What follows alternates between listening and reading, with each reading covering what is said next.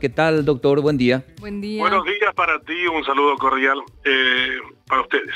Gracias por atendernos primero. Lo siguiente, para entender el contexto que muchas veces así mirando de lejos no conocemos del todo, pero hombres como, como vos, doctor, que conoce a full lo que es un poco eh, el análisis internacional para entender cuál es la situación política, el contexto social de Beirut, por qué se habría dado esta explosión. ¿Qué datos tenés, doctor?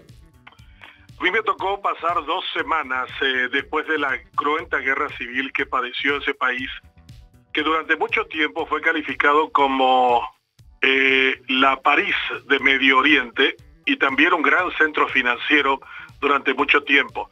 El débil equilibrio político del Líbano, sostenido en tres brazos fundamentales, llegó a su fin con esa guerra civil que enfrentó de manera cruenta a dos grupos radicales eh, que buscaron controlar el poder completo. El grupo de los musulmanes con un fuerte partido político denominado Hezbollah, que tiene hoy una importante representación en el Congreso de ese país. Hay que recordar que el Líbano tiene un régimen parlamentario. El primer ministro es electo y es también sacado por la vía del voto de confianza que le tenga el Congreso. Y en los últimos años no ha tenido mucha capacidad para poder controlar las diferentes variables que se entremezclan entre un lado la difícil situación económica de recuperación después de la guerra civil, más a los grandes intereses en donde se encuentra ubicado el Líbano. Ese país fue un gran centro eh, y una gran potencia comercial durante mucho tiempo, es la antigua Fenicia, con dos grandes puertos, Tiro y Sidón, de donde salían las mercaderías que hacían el cruce desde China hasta el Mediterráneo, y gran parte de lo que hoy somos tributarios nosotros, la llamada civilización occidental eh, indoeuropea, proviene de esa, eh, de esa vertiente que ha tenido muchísimo impacto en el desarrollo económico y político de nuestros pueblos. Eh, el Líbano tuvo ese elemento trascendente a lo largo de su vida. A ti que te gusta la literatura, una de las grandes voces de ese país y una de las extraordinarias voces literarias del mundo es Khalil Gibran, eh, que nació en esa zona de los cristianos maronitas, que es una vertiente del cristianismo al modelo de los libaneses, y ellos han tenido también una fuerte raigambre en el juego de poder en la región cuando empiezan a crearse los países después de la Primera Guerra Mundial. Ahí se crearon países que no existían, eh, como Siria, eh, como, como Líbano, como Jordania, por citar simplemente algunos, y finalmente en 1948 la creación del Estado de Israel. Y ese es también un factor de desequilibrio en la zona.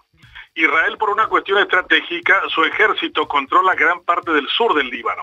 Y Hezbollah, que es por un lado un partido político con representación eh, normal y electoral, diríamos, es al mismo tiempo un brazo eh, violento y terrorista, según la calificación que ha hecho el gobierno norteamericano y los israelitas que están buscando crear una situación de desequilibrio en la zona.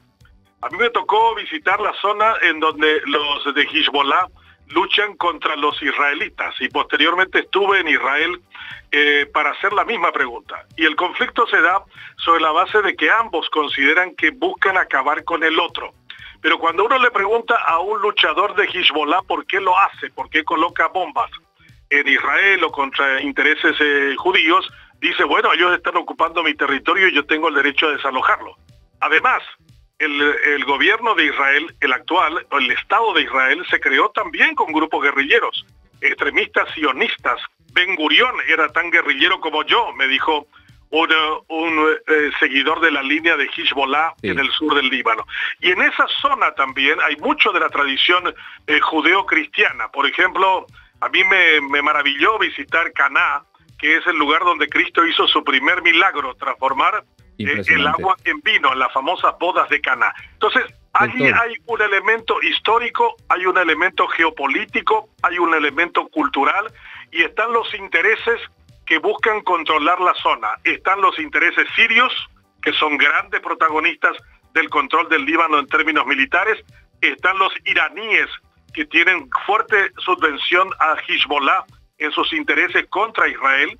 Hay intereses también turcos y hay intereses de permanente potencia que buscan evitar que el Líbano se convierta en un gran problema para toda la región. Doctor, me encanta cómo desparramas todo ese conocimiento, pero quisiera ir un poco lo que pasó ayer. ¿Qué mensaje políticamente crees que envían aquellos que organizaron este atentado, esta explosión para Beirut y para otros países? ¿Qué, cómo lees esa situación políticamente? Bueno, allí estamos hablando de amianto. El amianto es un explosivo, por un lado, pero también puede ser un elemento utilizado para fertilizantes. Eh, que se usa mucho en el mundo. La pregunta grande es por qué se acumuló tal cantidad de, amianto en esa zona portuaria por demasiado tiempo. Porque ahí están hablando de cuatro a seis años de acumulación de toneladas de amianto. ¿Quién pudo haber encendido la mecha? Yo estoy seguro que en el Líbano ahora, gran parte de los sectores más radicales, Hezbollah le estarán culpando a los intereses eh, judíos en la zona. Otros estarán diciendo los sirios. Otros estarán hablando que son los iraníes.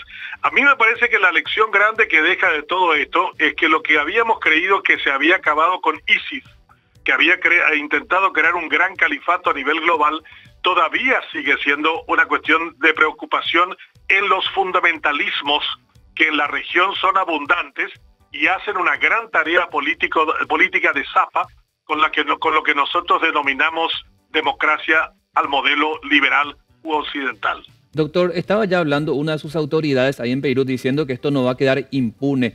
¿Podría ser, este, la, ¿Podría ser esta situación una mecha encendida para otros conflictos bélicos entre países? No, es muy difícil. Líbano no tiene una capacidad militar para ser un protagonista de eso. Allí en la zona los dos grandes protagonistas en términos militares son los sirios y los israelitas.